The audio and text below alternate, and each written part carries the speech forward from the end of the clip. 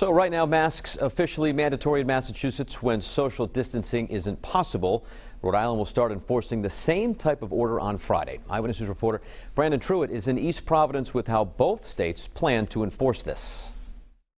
Right now, I'm more than six feet away from my photographer, but if you can't keep that distance, you're going to have to wear a mask. That's the rule right now in Massachusetts, and Rhode Island is not far behind. Both governors from the Ocean and Bay State saying the reason behind these orders is simple. It'll prevent the spread of the disease. It's obviously to protect you uh, from others, but just as important is to protect others from you. Today, Massachusetts directing everyone over the age of two to wear a face covering when social distancing is not possible.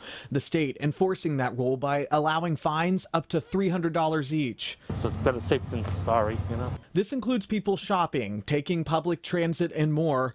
Rhode Island, on the other hand, expanding on an already existing policy. Wearing some form of covering over your mouth and nose can help significantly in stopping the unknown risk of transmission. Starting Friday, Governor Gina Raimondo is requiring a mask whether you're inside or out.